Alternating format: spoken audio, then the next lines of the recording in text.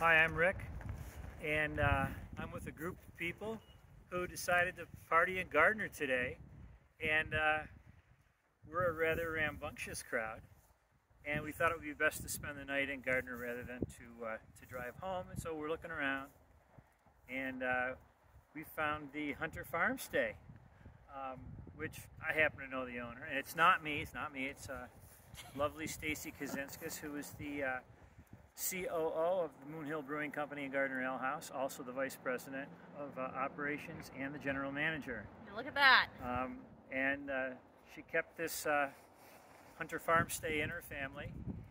And uh, we're just a typical group of people on a typical stay in Gardner at the Hunter Farm. And I want to show you the rest of the group because it's not just myself and my lovely daughter and the cameraman, who you will meet in a bit.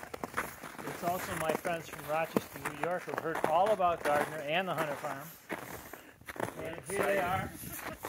Um, we're, we're not as young as we look, but um, it's it's but we are what we are. And um, this is this is Joe and Don. I went to high school with Joe. This is his uh, sweetheart that he married a good a good long time ago, but not that long because like, we're not that old. Um, but I want you to I want you to just uh, recognize uh, that we're a typical group and there's nothing abnormal about us. And come on in, Come on in. I'm gonna get some bacon. sweetheart. I always call the cameraman sweetheart. It's just something I do. Um, come closer, sweetheart.